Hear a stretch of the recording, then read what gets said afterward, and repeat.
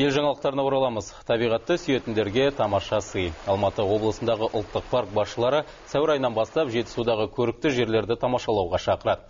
Ауасы таза, суы бал мекенді көрімдеушілер үшін жетісу алтын шеңбері деп аталатын арнайы бағдарлама әзірленген. Алтын емелден бастап шарын шатқалы, көлсай көлдері мен іле алатауының бөктеріне дейін қамтитын саяхат жеті күнге есептелген. Ал оның жалпы ұзақтығы 1200 шақырымды құрайды екен.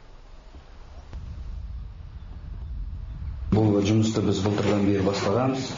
Жаңағы өзіңіз жаңа айтып транспорт ретінде баға ретінде оның бәрін біз қолдарыңызға прайс бәрін береміз.